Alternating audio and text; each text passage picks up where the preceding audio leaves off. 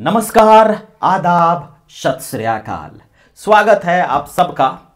यहाँ पर हमने लिखा है, एक क्वेश्चन संपूर्ण रिवीजन और टॉपिक कौन सा है? यूनिफॉर्म कन्वर्जेंस वो भी सीक्वेंस ऑफ़ फ़ंक्शंस का। क्या ये संभव है?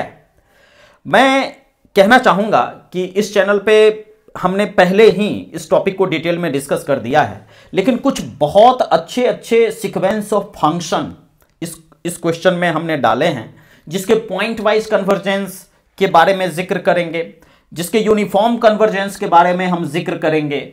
और यूनिफॉर्म कन्वर्जेंस की जब बात होती है तो एक तो वो थोड़ा सा सब्जेक्टिव अप्रोच होता है, जिसमें सुप्रीमम ही निकाल लिया जाता है। और दूसरा एक ऑब्जेक्टिव अप्रोच जिसमें हम लोग सिर्फ़ ये देखेंगे कि जो supremum over the domain D mod F N X minus F X जो है, वो ज़ीरो पे जाता है या नहीं जाता है। अब यहाँ पे एफ़ एन एक्स क्या है? एफ़ एक्स क्या है? एक एक चीज़ जो आपने ऑलरेडी इस चैनल पे डाले गए डिटेल्ड कोर्स में पढ़ रखा है, उसी को नए सीक्वेंस जो हम लेकर के आए हैं, उसमें देखने की एक अच्छी कोशिश जो है, वो करेंगे। तो लेते हैं सबसे पहला सवाल। यहाँ पर आप देखिए, इस सवाल में क्या है और क्या खासियत है। यहाँ पर जो सबसे पहला सीक्वेंस हमने लिया है यह सीक्वेंस है कॉस की power two N pi X this is your F N X ये आपका एफ़ एन एक्स है। मैं दूसरे पेज पे इसको लिखना चाहूँगा। जो आपका एफ़ एन एक्स है, वो क्या है? एफ़ एन एक्स ये निश्चित तौर पे यहाँ पर हमने जो लिया है एफ़ एन एक्स वो है कॉस ठीक है? कॉस की पावर टू एन कॉस की power two N pi X ठीक है? अब सबसे पहली जो बात होती है, क्या यह पॉइंट वाइज कन्वर्जेंट है? ठीक है? और यहाँ पे किस डोमेन पे हम लोग बात कर रहे हैं? तो ऑन आर ठीक है? अब जैसे देखिए पॉइंट वाइज कन्वर्जेंस का मतलब यह है कि आर से एक एक पॉइंट लेके एफ़ एन में रखते जाइए। और वहाँ से सीक्वेंस ऑफ़ रियल नंबर बनेगा और सारे के सारे सीक्वेंस अगर कन्वर्जेंट होंगे, तब आप बोलेंगे कि ये सीक्वेंस पॉइंट वाइज कन्वर्जेंट है। लेकिन जो तरीका होता है, वो तो बहुत थोड़ा लेंदी तरीका होगा। एक एक पॉइंट को इसमें रखना और उसके बाद करना मुश्किल होगा। तो पॉइंट वाइज कन्वर्जेंट कब कह देते हैं? जब limit N tends to infinity F N X ये फाइनाइटली एग्जिस्ट कर जाता है। और limit N tends to infinity F N X करने पे जो आपको मिलता है एफ़ एक्स इस एफ़ एक्स को हम लोग क्या बोलते हैं? लिमिट पॉइंट फ़ंक्शन और अगर limit point function exist finitely तो हम लोग ये कह देते हैं कि ये जो है पॉइंट वाइज कन्वर्जेंट है। तो अब यहाँ पर देखना होगा कि ये जो है limit N tends to infinity cos की पावर टू एन और यहाँ पे जो पाई एक्स है, ये क्या होने वाला है यहाँ पर? ये देखना बड़ा इंटरेस्टिंग बचपन से ही याद है कि अगर कॉस का ऑड मल्टीपल होगा तो वो माइनस वन होगा। ठीक है? इंटीजर की बात कर रहा हूँ। और कॉस का अगर इवन मल्टीपल ऑफ़ पाई होगा तो प्लस वन होगा। ठीक है?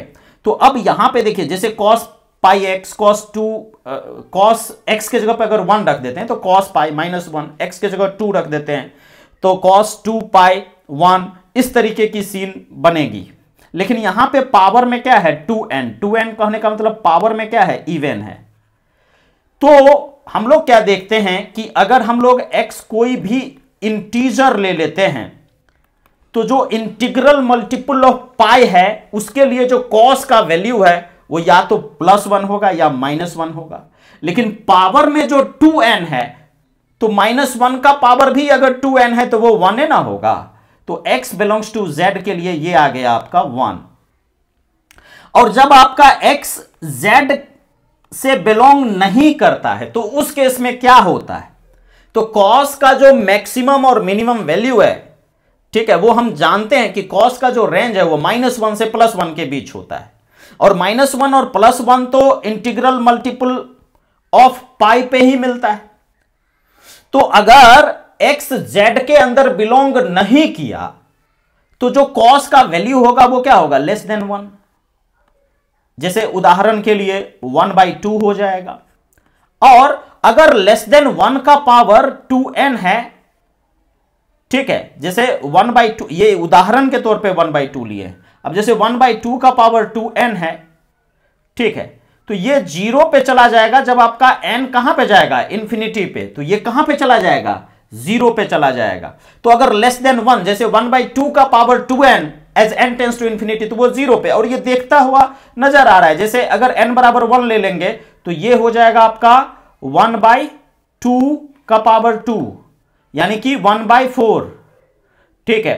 और एन बराबर अगर हम मान लीजिए टू ले लेते हैं तो ये हो जाएगा वन बाई टू का पावर फोर तो देखिए डिनोमिनेटर बढ़ रहा है, यानी कि ये ज़ीरो की ओर भाग रहा है।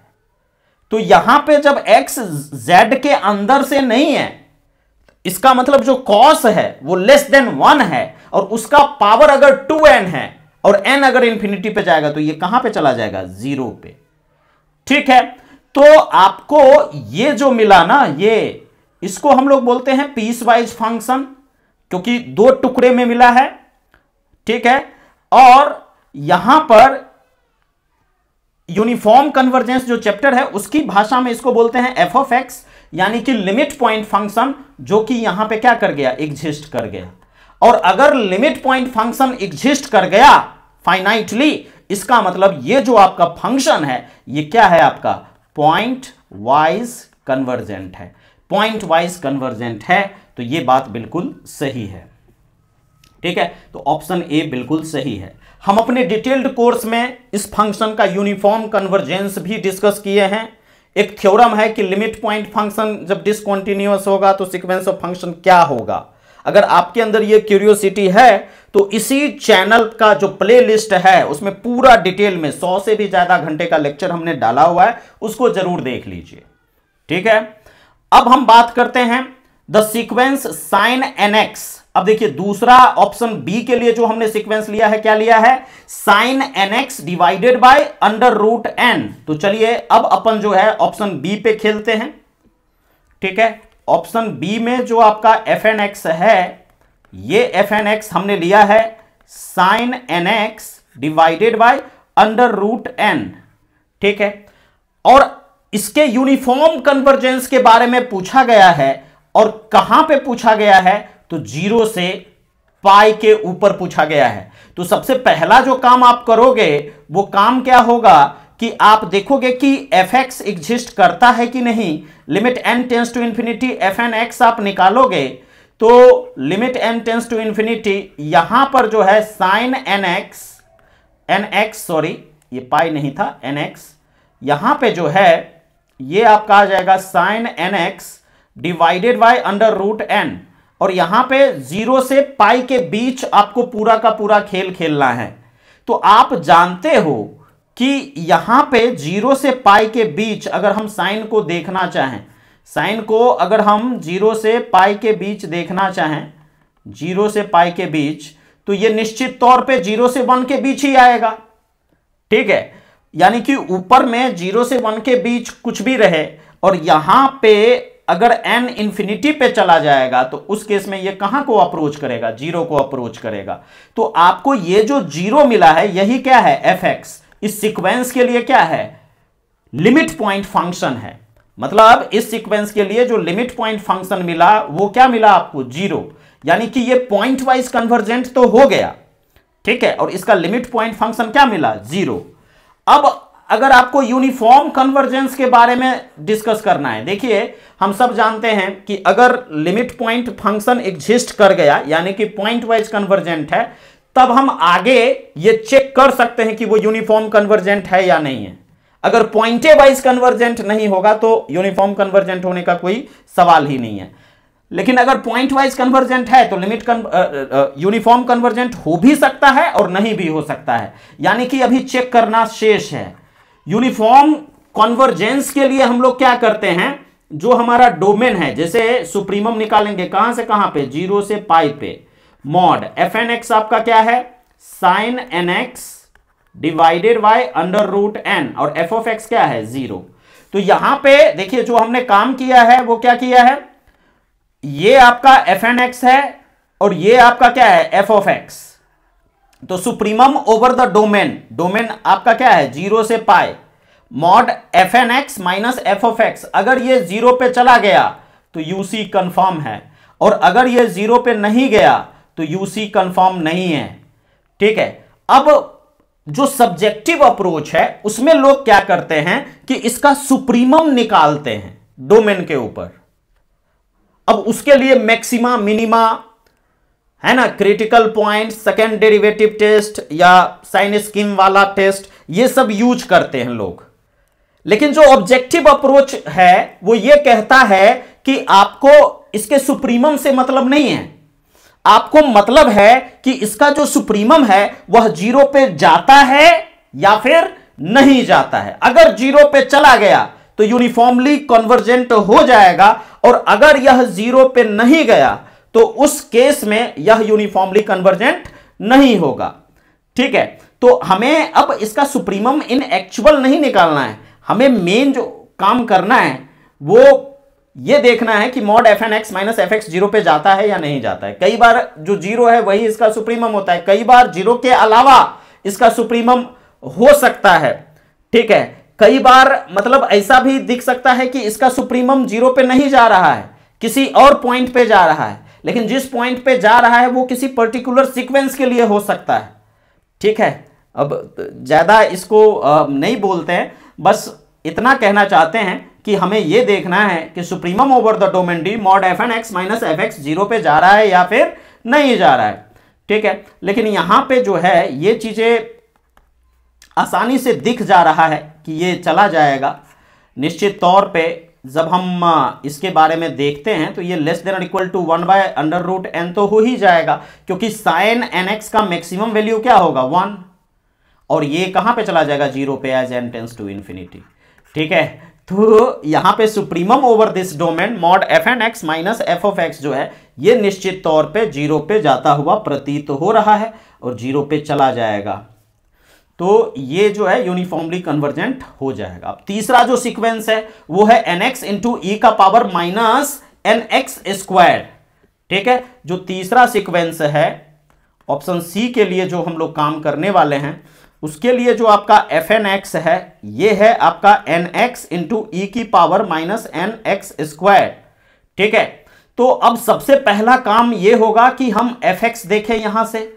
एफ़ एक्स कहने का मतलब है limit N tends to infinity, F N X कहने का मतलब है limit N tends to infinity. F N X अगर हम देखें तो ये हो जाएगा N X divided by E का पावर एन एक्स स्क्वायर। अब जब इन्फिनिटी इसमें डालते हैं तो देखते हैं कि ये इन्फिनिटी बाय इन्फिनिटी फॉर्म में है।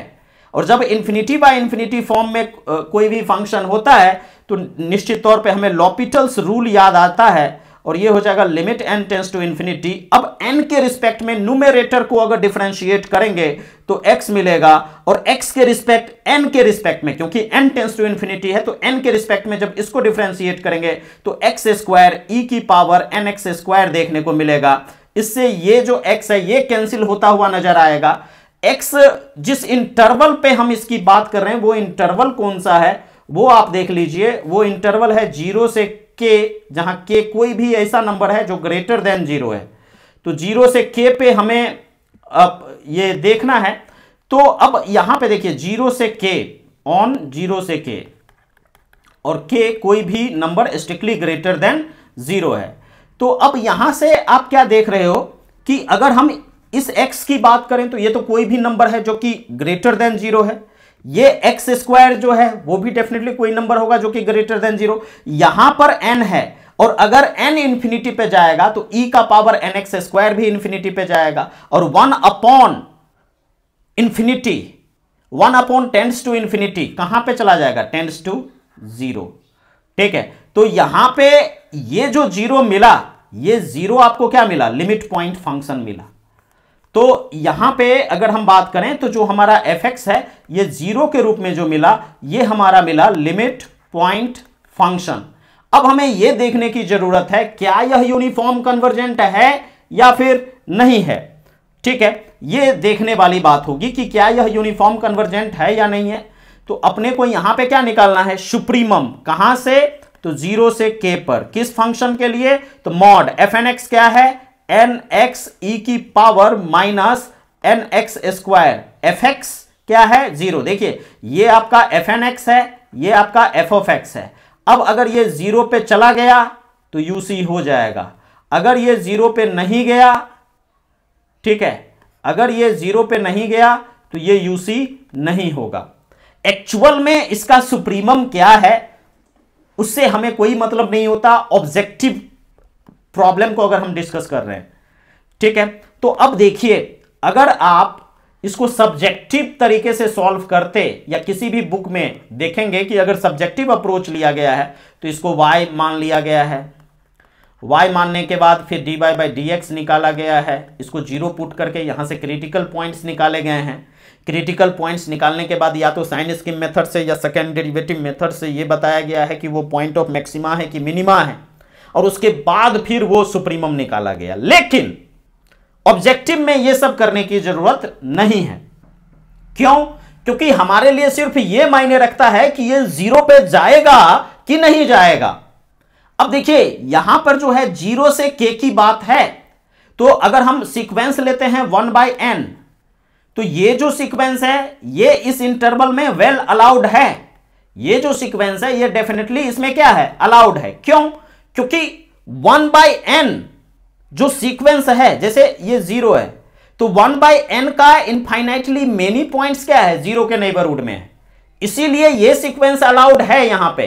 अगर यही वन से के की अगर बात होती तो फिर वन बाय एन उसके अंदर अलाउड नहीं होता। इसी बात को बहुत डिटेल में हमने डिस्कस करा है कि कब किस इंटरवल पे कभी वो यूनिफॉर्म कन्वर्जेंस हो जाएगा, किस पे नहीं होगा, इसको खूब रिग्रेसली हमने अपने डिटेल्ड कोर्स में करा है। आप प्लेलिस्ट चेक कर लीजिए, प्रयत्न C S I R NET real analysis का जो कोर्स है उसे।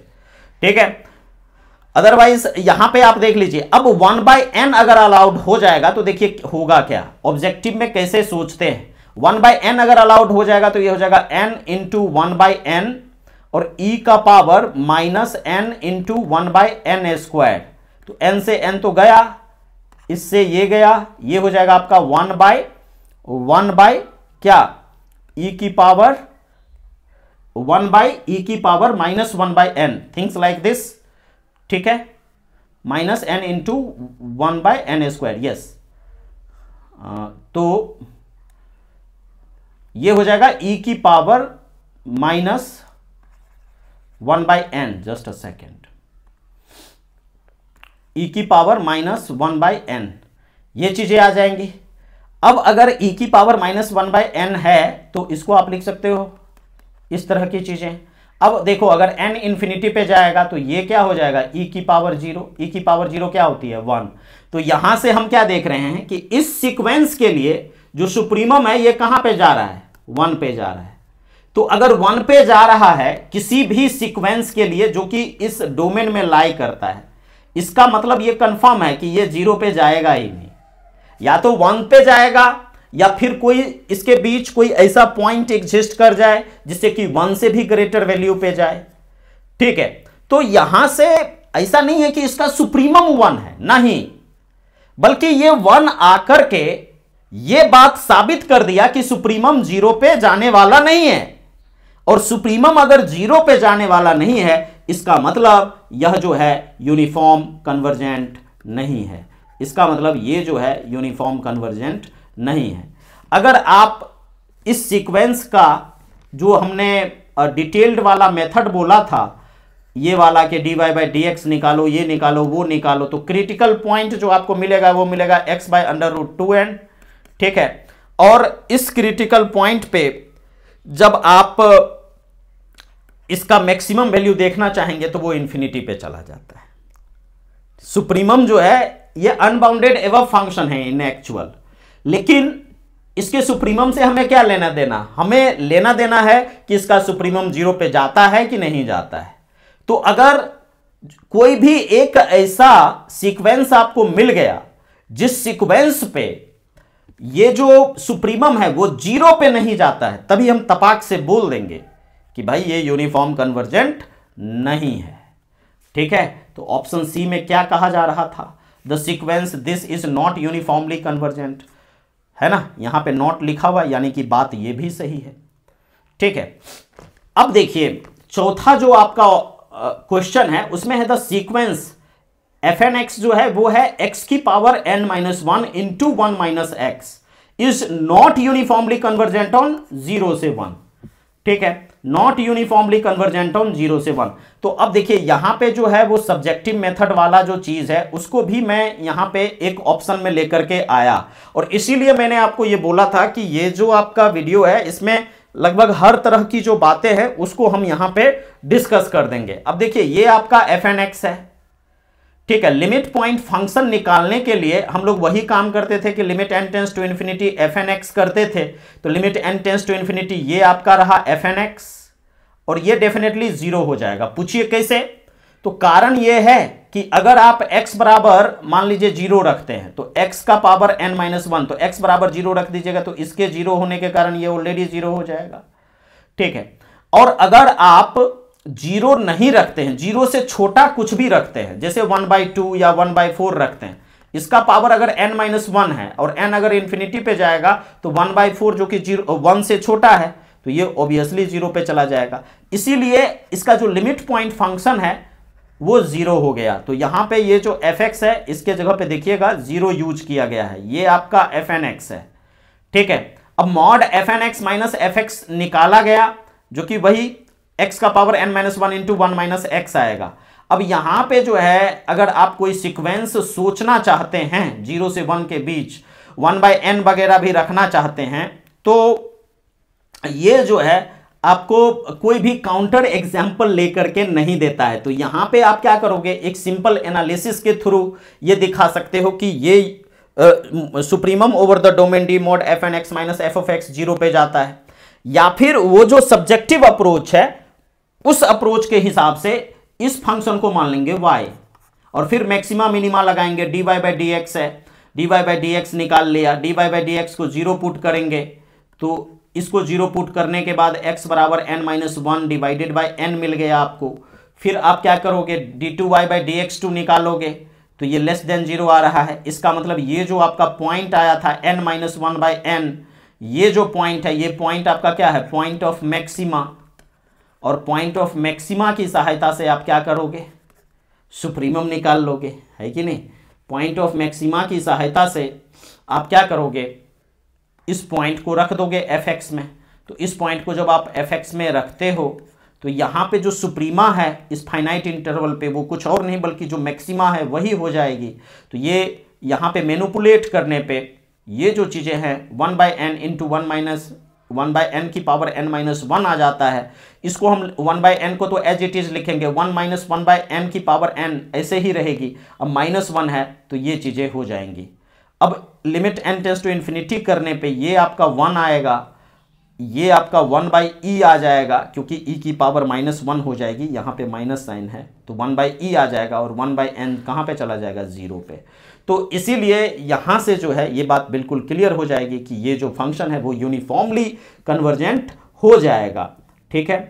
अब, लेकिन यहाँ पे ये लिखा हुआ था कि ये यूनिफॉर्मली कन्वर्जेंट नहीं है, जबकि हमने देखा कि ये यूनिफॉर्मली कन्वर्जेंट है, इसका मतलब ऑप्शन डी जो है वो गलत है तो जो सही आंसर है वो क्या है? वो है ए बी सी मैं आपको ये बता दूँ रियल एनालिसिस कंप्लीट किया जा चुका है प्ले लिस्ट में। अब जैसे देखिए, यहाँ पे ज़ीरो से पाई की बात है या ज़ीरो से के की बात है या ज़ीरो से वन की बात है, अब इसी में इंटरवल चेंज हो जाएगा तो आंसर चेंज हो जाएगा। तो रिगरस डिस्कशन जो है, एक ही क्वेश्चन पे दस दस, बीस बीस इंटरवल को हमने डिस्कस किया है, और वो जो डिस्कशन है, वो Prayatna C S I R NET का जो रियल एनालिसिस का कंप्लीट कोर्स है यूट्यूब पे, उसमें अवेलेबल है। आप एक बार प्ले लिस्ट चेक कीजिए थंबनेल देख के आप डेफिनेटली अच्छे से रिवाइज कर लीजिए। Everything will be clear objective approach को अच्छे से समझिए सब्जेक्टिव अप्रोच को अच्छे से समझिए। और आपको अगर लगता है कि किसी पर्टिकुलर टॉपिक पे एक वीडियो लेकर के आया जाए, जिस वीडियो से जो बेसिक कॉन्सेप्ट है, जो सब्जेक्टिव अप्रोच है ऑब्जेक्टिव अप्रोच है, वो चीज़ें एकदम क्लियर हो तो निश्चित तौर में तौर पे जो कमेंट सेक्शन है, उसमें आपका स्वागत है। ठीक है? प्ले लिस्ट चेक कीजिए और मिलते हैं नेक्स्ट सेशन में। ठीक है, तब तक के लिए all the best for your upcoming exam thank you very much जय हिंद, जय